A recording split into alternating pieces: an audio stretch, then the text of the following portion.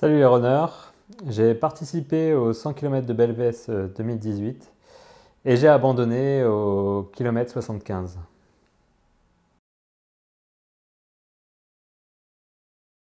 Tout a commencé en fait la veille. J'ai été chercher euh, Charles-Antoine en voiture, qui est mon accompagnateur vélo.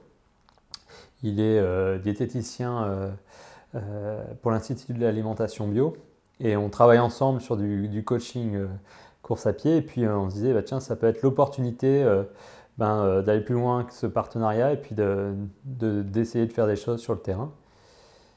Et donc il a tout simplement dit, bah ouais, je te suis. Donc on est, on est parti, on a pris la route de manière bon enfant. Hein, il n'y avait pas non plus de prise de tête. Et puis, ben, on a commencé à se projeter dans la course.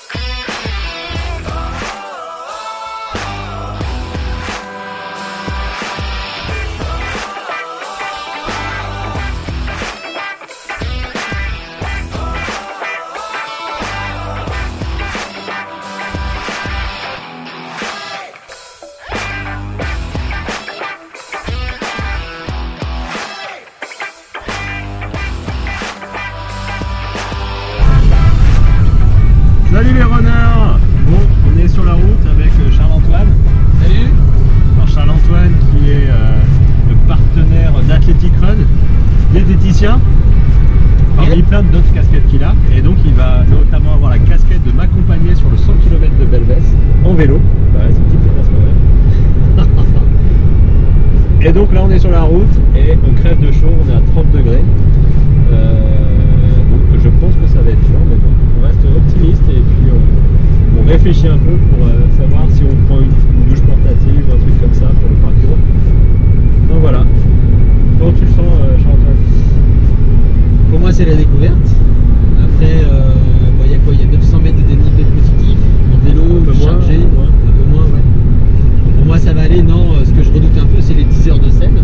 Ou peut-être, si tu cartonnes, les 8 heures de scène. ou, ou, les 4 heures de scène, oh, si j'abandonne. voilà. Et, euh, puis c'est tout, quoi. Donc on va voir. Et puis effectivement, la chaleur. la chaleur, ça va être le truc à gérer. Mais bon, ça fait partie de la course. Alors déjà la veille, il faisait chaud, il faisait chaud. Euh, bon, dans la voiture, on avait la clim, etc. Donc on n'avait pas l'occasion de, s'acclimater à la chaleur. Euh, on l'a ressenti dès qu'on sortait de la voiture. On est arrivé à Belvès, euh, du coup, la, veille de la course, vers 19h30, où j'ai retiré mon dossard. Le soir, je, dormais chez de, chez de la famille avec Charles-Antoine. Euh, et, le lendemain, bah, on se levait tôt euh, pour aller sur la course. Le matin, euh, nickel, hein, pas, de, pas de problème particulier. En plus, il faisait frais. moi, sur le, sur le départ, bah, j'étais plutôt confiant, même si je savais qu'il allait faire chaud. Mais bon, ça, il allait faire chaud pour tout le monde. Et, puis Charles-Antoine est parti bah, en premier. Euh, trois quarts d'heure avant le départ des coureurs avec euh, tous les autres accompagnateurs vélo euh, pour qu'on les rejoigne un peu plus tard. À On est heureux de te retrouver Franck. Franck qui a déjà terminé quatrième hein, au pied du podium ici. Il faut s'en souvenir. On, va avoir l'occasion de te revoir, t'inquiète. Hein.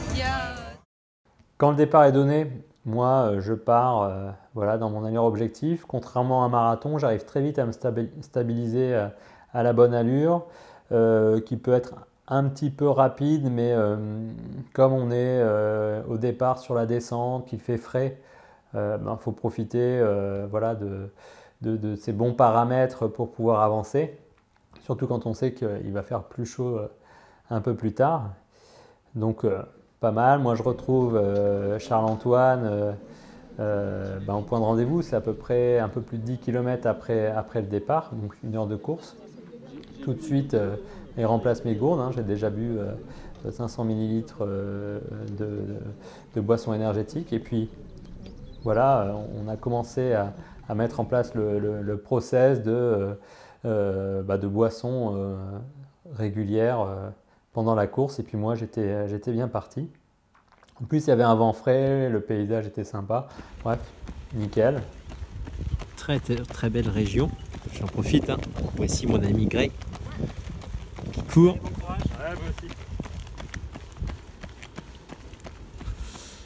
Et voilà, nous sommes euh, dans une magnifique région avec des maisons splendides. Et nous traversons le centre-ville de Saint-Cyprien.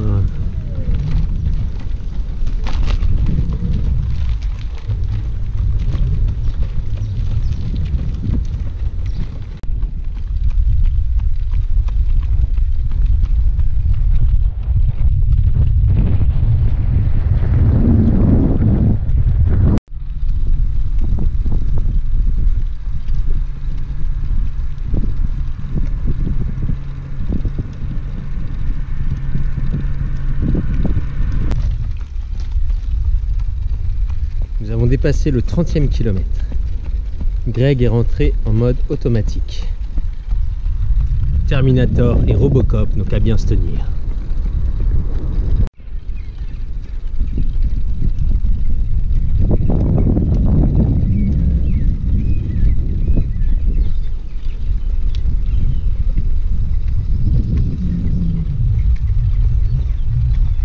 Ça y est, la chaleur est là, on a très peu d'ombre, comme le fait remarquer euh, Greg. Euh, et, puis voilà, la route renvoie les choses. Il est à peine 11h et on commence à avoir chaud et le vent n'est plus froid, mais chaud.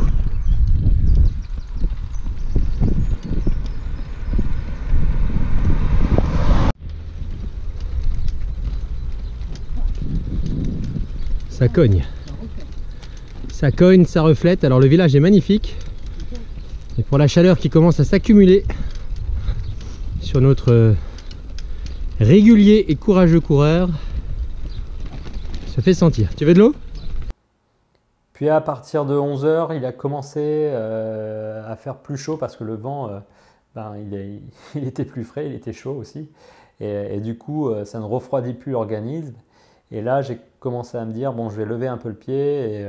J'étais plutôt voilà, à 5 minutes au kilo. Je suis passé à 5 minutes 30 au kilo histoire de ne pas trop monter en, température et puis, euh, et puis surtout ben, euh, avec, euh, avec l'approvisionnement de Charles-Antoine, ben, je m'aspergeais beaucoup d'eau. Alors la chance, c'est que les commissaires, de la course ben, ont compris qu'il allait faire très, chaud et, et ont décidé d'autoriser l'approvisionnement en dehors des, zones de ravitaillement. Et là, du coup, ça a simplifié un peu les choses.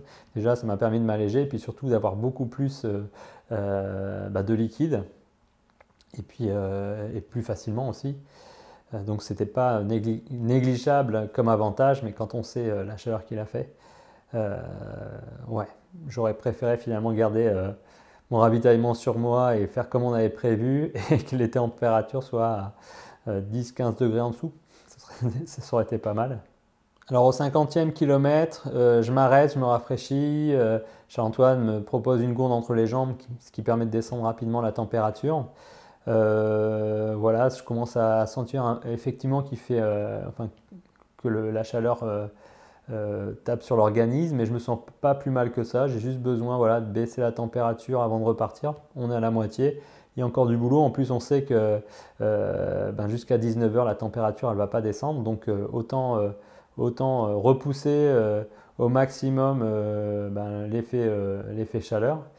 Donc on profite euh, de ce mi-parcours pour, bah, pour se reposer un peu. Pourtant, 5 km plus tard, à nouveau, je me, enfin pas à nouveau, mais plutôt je commence à pas me sentir bien. je m'arrête, je m'arrête, je, bois, je, mange. Charles-Antoine me masse les mollets et je décide de, faire un peu comme sur des ultra trails.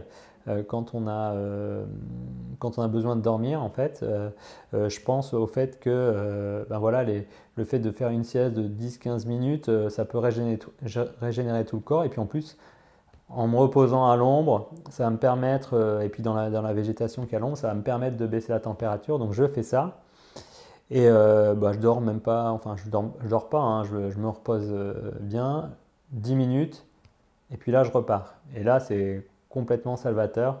Je repars à, un, super, rythme, j'ai des bonnes sensations, j'ai l'impression de recommencer la route, de recommencer la course et je suis parti. C'est parti, Grégory est parti à nouveau 65 km. Après un passage un petit peu difficile à cause de cette chaleur euh, écrasante. Une petite, euh, petite sieste de 10 minutes, un petit massage et puis là euh, bah, il est reparti, il est comme neuf. Donc c'est génial. Et petit à petit on referme les boucles du tour.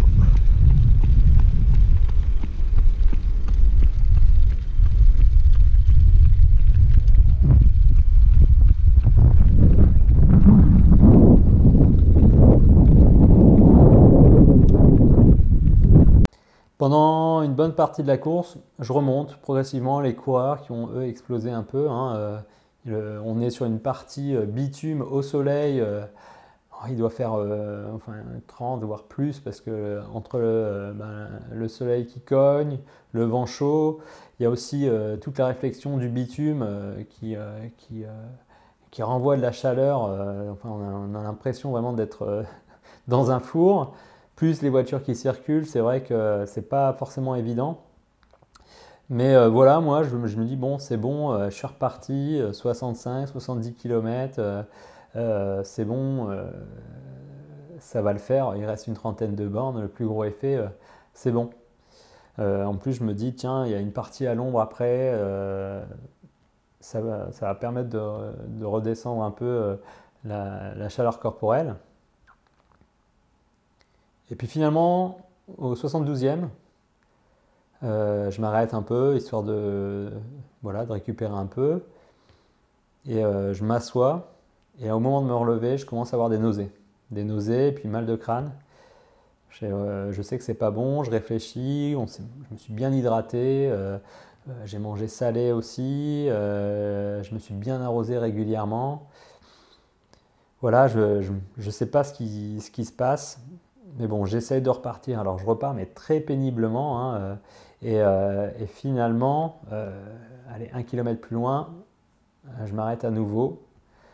Je m'allonge, je me sens vraiment pas bien, des envies de, vomir, ces nausées, ces maux de tête qui, qui, sont de plus en plus forts.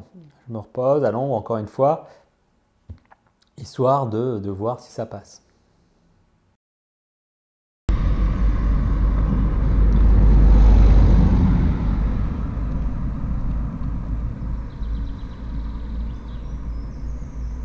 Ça te fait du bien? Puis finalement, euh, je me dis, allez, il reste, il reste rien, euh, vas-y.